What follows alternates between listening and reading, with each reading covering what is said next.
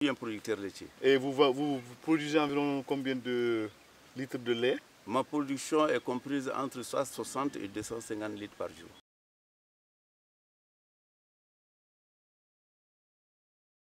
Voilà, la vraie difficulté aujourd'hui, elle est alimentaire.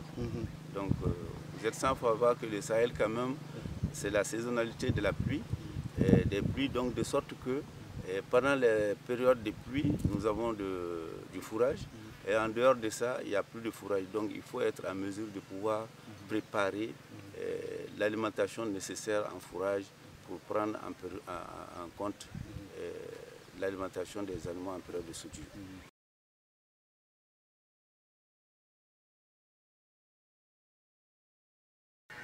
La chose que je ne vais jamais donner, c'est l'activité où j'ai vraiment opté pour faire, ça c'est l'élevage, la production laitière. Et mes parents étaient des éleveurs, mais ils n'ont jamais utilisé le système de production laitière, de, rentabiliser une activité au niveau du, bétail. Et moi, à mon niveau quand même, euh, j'ai voulu valoriser cette production dans le domaine du, du, lait pour pouvoir prendre en charge beaucoup de besoins, puisque j'ai fait, j'ai vu des, des, des, des, images pour la production laitière qui peut bien, bel et bien nourrir sa population. Et compte tenu aussi de, de l'importation massive de la poudre de lait qui est importée euh, au Mali en, en, particulier et dans le Sahel en général, c'est ce qui fait que produire, nous avons l'élément nécessaire, nous avons la matière première qui est de, de, de bétail, donc c'est de pouvoir améliorer cette race-là et être en mesure de produire du lait.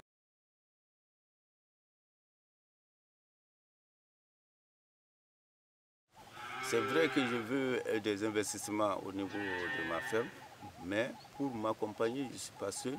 Il y a toute ma communauté. J'appartiens à une coopérative, j'appartiens à une organisation nationale.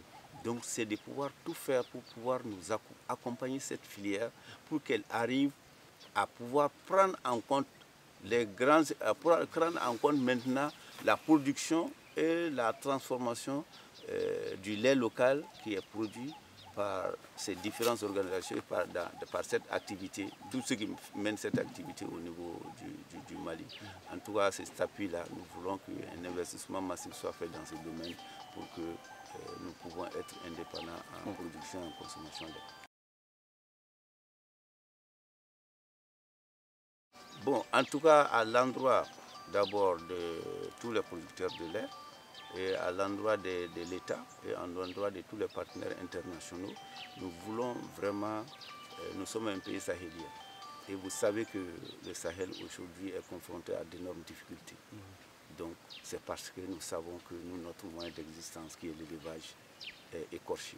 Donc nous voulons, nous demandons humblement auprès de tous ces partenaires pour qu'ils puissent nous aider, pour que le Sahel en général puisse vraiment avoir la paix. Ça c'est quoi? Ça c'est parce que notre moyen d'existence qui est l'élevage, aujourd'hui est en, dé, en, dé, en régression. Mm. Donc l'éleveur qui est dans le Sahel et qui doit nourrir ses animaux, il n'a pas de, de il n'a pas, il n'a pas de pâturage, il n'a pas d'eau. Donc tout de suite, il est sujet à tout tapas qu'on va lui proposer. Donc il est même prêt à prendre des armes, mourir ou vivre. Donc c'est ce qui fait aujourd'hui pour nous, en tout cas selon ma compréhension, que eh, l'État et tous les partenaires nous appuient, pour que l'élevage puisse retrouver sa, noblesse dans ce, dans, cette, dans ce bout du monde, dans ce bout du monde -là.